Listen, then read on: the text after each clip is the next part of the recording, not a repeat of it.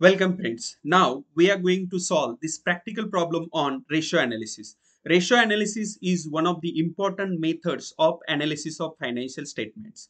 Friends, this session is going to be very interested because at the end of this session, you will be able to answer various multiple choice question on this topic and at the same time, you will be able to solve the practical questions on ratio analysis. Right? So uh, stay tuned. Uh, here question on the screen says following is the balance sheet of Tata Bata Limited Pune as on 31st March 2021. So here balance sheet is given which shows the assets and liabilities of Tata Bata Limited on 31st March 2021. Here uh, question asks us to calculate current ratio, liquid ratio and debt to equity ratio. See friends, in order to calculate the ratios in account, you must be aware about the formulas like uh, to calculate the current ratio the formula is current assets divided by current liabilities.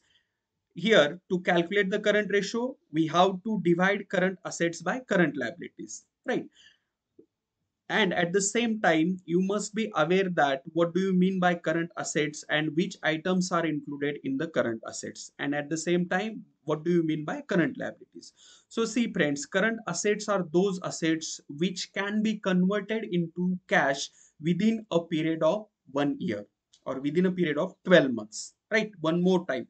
Current assets are those assets which can be converted into cash within a period of one year so stock, debtors, bills receivable, cash in hand, cash at bank, all these are considered as the current assets in accounting. Here I have mentioned the important items which are included in the current assets. So here current assets include stock, debtors, bills receivable, cash in hand and cash at bank, prepaid expenses, marketable securities, short-term high quality investment, and work in progress. So all these items are included in current assets. So here multiple choice question can be asked like that. Current assets include an option uh, can be given. So you can if you are aware about that the which items are included in current assets you can answer that question quickly right? Similarly current liabilities includes creditors bills payable bank overdraft outstanding expense and proposed dividend so current liabilities are those liabilities which are payable within a period of 12 months or in a current year. So that's why those liabilities are known as current liabilities. Right now, I hope that uh, concept of current assets and current liabilities is clear here. Current assets are those assets which can be converted into cash within a period of one year and current liabilities are those liabilities which are payable in current year one more important point related to current ratio is that current ratio is also known as 2 is to 1 ratio. Because it is expected that current assets of the business should be twice the current liabilities of the business. Right? So this is desirable ratio. Current ratio uh, should be 2 is to 1 or that's why uh, this ratio is also known as 2 is to 1 ratio so here multiple choice question can be asked like that. Current ratio is also known as dash or option can be 1 is to 2, 3 is to 2 like this and 2 is to 1. So here answer is 2 is to 1 ratio. Current ratio is also known as 2 is to 1 ratio.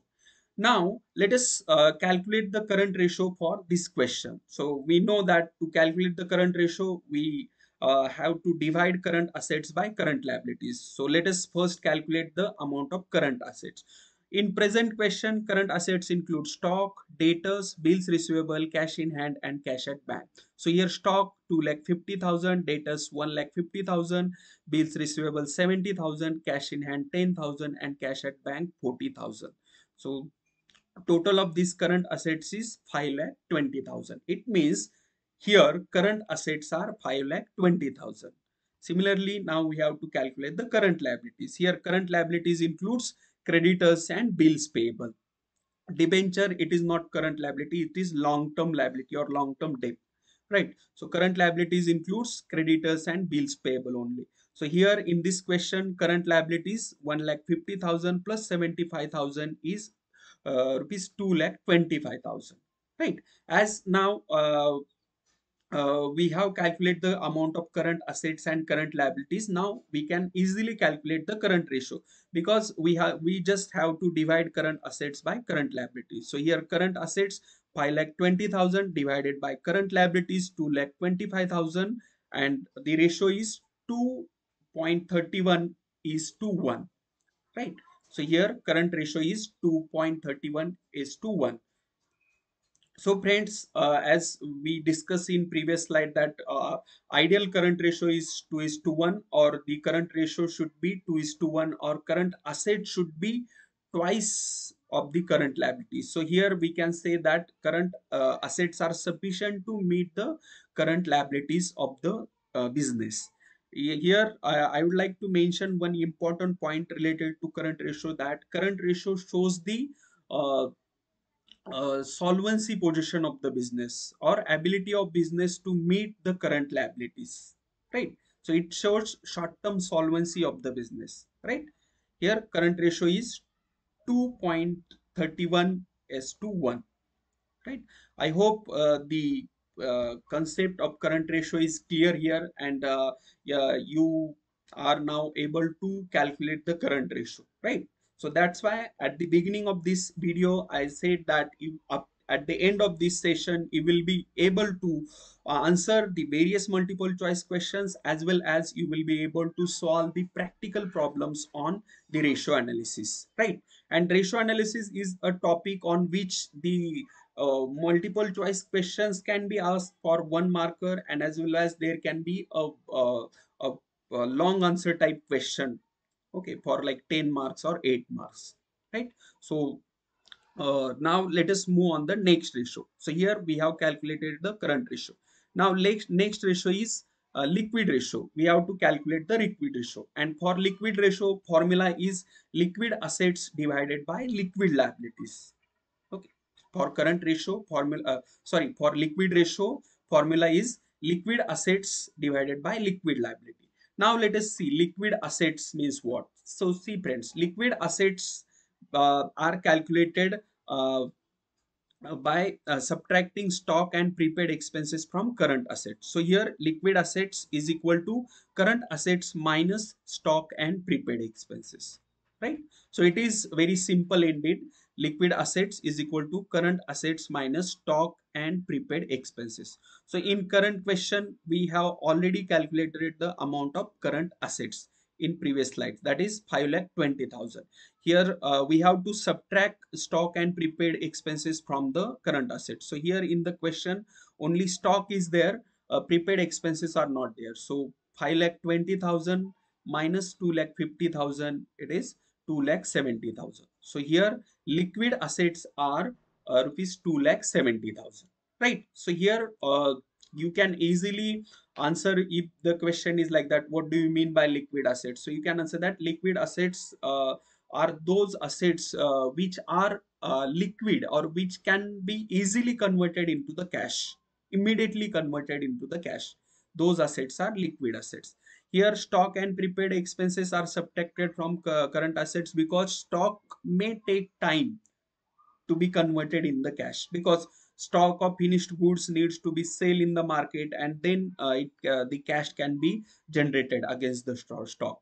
Okay so liquid assets are calculated by subtracting stock and prepaid expenses from current assets right? So here liquid assets are 2 lakh 70000 Similarly, we can calculate liquid liabilities by subtracting bank overdraft and outstanding expenses from current liabilities. It means liquid liabilities is equal to current liabilities minus bank overdraft and outstanding expenses. In current question, we have already calculated the amount of current liabilities which is 2 lakh 25,000 but here bank overdraft and outstanding expenses are not there. So here current liabilities minus uh, nil. There is no amount of bank overdraft and outstanding. So that's why here liquid liabilities are same as current liabilities. That is 2 lakh 25000 so here liquid liabilities 2 lakh 20 uh, 25000 okay. Now we can easily calculate the liquid ratio. So here liquid ratio is equal to liquid assets 2 lakh 70000 divided by uh, liquid liabilities 2 lakh 25000 so here liquid ratio is 1.2 as to 1 right 1.2 s to 1 okay so here liquid ratio is 1.2 s to 1 so it is easy to calculate. Uh, here uh, important point related to liquid ratio is that liquid ratio is also known as quick ratio. Okay so here uh, keep in mind that liquid ratio is also known as quick ratio or acid test acid test ratio acid test ratio okay so liquid ratio is also known as quick ratio or acid test ratio. If the question asks us to calculate quick, ratio in that case you can use the formula quick assets divided by quick liabilities. It means instead of liquid you can use the word quick right? Now i hope that the concept of liquid ratio is also clear. Now let us calculate the next ratio and next ratio is debt to equity ratio and formula to calculate debt to equity ratio is long term debt divided by shareholders funds. So here uh, uh, i would like to mention uh, here that long term debts includes uh, bank loan and uh, debentures. Okay so long term debt includes debentures and bank loan. And shareholders funds include so here in pre present question uh, there is uh, only debentures. There are only debentures 6 lakhs 30000 so here long term debt is 6 lakh 30000 there is no bank loan. And uh, shareholders funds shareholders funds include share capital reserves plus profit and loss uh, uh, profit and loss account. So uh, shareholders fund is also known as owner's equity or net worth of the business, right? Shareholders funds are also known as owner's equity or net worth of the business, which is calculated as share capital plus reserves plus profit and loss account, right? So here shareholders funds are share capital 3 lakh, reserves and surplus 60,000 and profit and loss account 45,000. So here shareholders fund are 4 lakh 5,000 and long term debt is 6 lakh 30,000. So here uh, it is not liquid ratio sorry. It is debt to equity ratio basically. So debt to equity ratio is equal to 6 lakh 30,000 long term debt divided by uh, 4 lakh 5,000 which is shareholders fund. So here debt to equity ratio is 1.55 as to 1 right? And here uh, it is desirable that uh, debt to equity ratio should not be more than 2 it means debt should not be twice of the owner's equity. Okay. So here in this case debts are uh, below uh, 2 uh, level or the, it, they are not twice or more than twice they are below twice of the uh, shareholders fund. So here debt to equity ratio is uh, good we can say uh, here in the form okay so in this way debt to equity ratio is calculated. And this debt to equity ratio shows the relationship between owner's fund or net worth to external debt or capital. Here debt to equity ratio can uh, be calculated with other formula that is total debt. Okay some uh, uh, authorities of the opinion that uh, instead of long term debt only we one should take or uh, we should take total debt of the firm to calculate the debt to equity ratio. Okay. So accordingly we can use other formula but this formula is widely accepted. So uh, here we have calculated the debt to equity ratio with this formula only like long term debt divided by shareholders funds. Right. So here uh, we have finished with this uh, question friends. Now let us uh, take another example which is on the trading and profit and loss account. And here uh, the uh, on the screen you can uh, see the question. It says the following is the trading and profit and loss account of Tata Bata Limited for the year ended 31st March 2021 and from this uh, trading and profit and loss account we have to calculate gross profit ratio net profit ratio and operating ratio. So now see in order to calculate gross profit ratio, we need to use this formula. Gross profit ratio is equal to gross profit divided by sales multiplied by 100. So this formula is very easy indeed. And here in the question itself, uh, we have the amount of gross profit, which is 1 lakh.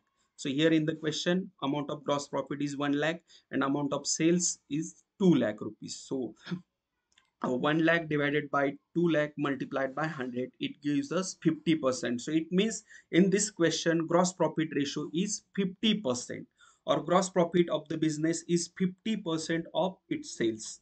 And friends see as these are the profitability profitability ratio gross profit ratio and net profit ratio higher the ratio it is good for the business. Okay it shows the profitability of the business. Similarly we have to calculate the net profit ratio and formula for net profit ratio is net profit divided by sales multiplied by 100 so here amount of net profit is 40000 so 40000 divided by 2 lakh which is the amount of sales multiplied by 100 it gives us 20 percent. So here net profit ratio is 20 percent. Now thirdly we have to calculate the operating ratio. For operating ratio formula is cost of goods sold plus operating expenses divided by sales multiplied by 100 so here we have to use this formula operating for operating ratio. Operating ratio is equal to cost of goods sold plus operating uh, expenses less uh, divided by sales multiplied by 100 so see friends cost of goods sold uh, can be calculated uh, by subtracting gross profit from the sales. So here uh, cost of goods sold is equal to sales minus gross profit. So in current question sales are 2 lakh and gross profit is 1 lakh. So here cost of goods sold is 1 lakh Similarly, we can calculate the operating expenses. See, operating expenses are those expenses which are related to the operating activities of the business or core activities of the business for which purpose the business organization is established. It means all those expenses which are related to uh, run the business. Okay or which are related to the operating activities of the business are considered as operating expenses. So here on the debit side of profit and loss account you can see office expense interest selling expenses etc so we know that office expenses it are uh, these are related to the operating activities. But interest interest is not related to the operating activity. It is a finance expense basically. Interest is a finance expense then selling expenses these are related to the operating activities. Okay so here in order to calculate operating expenses we have to add office expenses and selling expenses right? So here in current question operating expenses are office expenses 30000 and selling expenses are 24000 okay so here cost of goods sold 1 lakh. Operating uh, expenses includes 30000 of office expense and 24000 of selling expense right so here operating ratio uh, will be 77 percent right? So in this way you can calculate the operating ratio. This ratio shows the percentage of total expenses to the sales amount of sales. So here operating ratio is 77 percent. It means total 77 percent are the operating expenses of this business organization right? So in this way friends you can calculate the, the various ratios and uh, uh, you can explain uh, or you can answer the multiple choice questions which are asked on the uh, ratios. Here friends here uh, now uh, i would like to stop here. Uh, we are going to take next session or we are going to make next video on the ratio analysis. This is the part one of the ratio analysis. Okay. So part 2 will be uh, uploaded soon in the on the uh, uh, youtube. So make sure that you have subscribed the channel and like share this video with your friends. Thank you friends. Thanks for watching